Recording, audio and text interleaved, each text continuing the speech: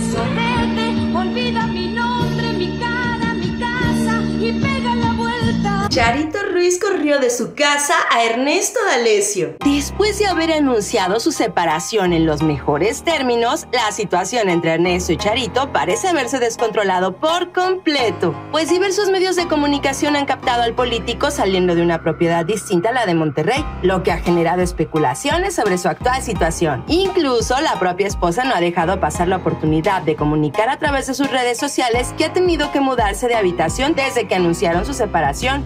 Esta es mi nueva cama. Aquí estoy durmiendo porque el clima del cuarto tronó. Recordemos que el mismo Ernesto aseguró en una entrevista con el programa Ventaneando que habían llegado a un acuerdo por el bien de sus hijos y ninguno de los dos abandonaría la casa familiar.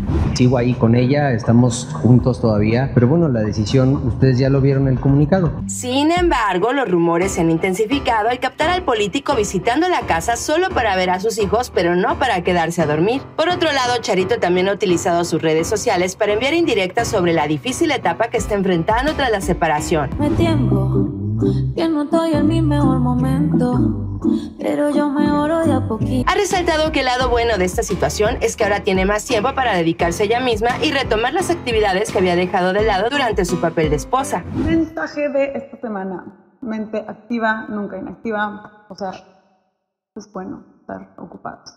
Te distraes, ah, haces cosas que a veces no habías hecho en mucho tiempo, que habías postergado por X o Y, entonces No podemos negarlo, este escándalo de la separación de Ernesto y Charito está causando revuelo en el mundo del espectáculo. ¿Qué pasará a continuación? Estaremos atentos para mantenerlos informados de todos los detalles picantes de esta historia. Pero bueno, en otros temas te cuento sobre cómo Marjorie de Sousa se puso en papel de víctima exigiendo ahora privacidad para su hijo Matías. Así que si te lo perdiste, aquí te lo cuento todo.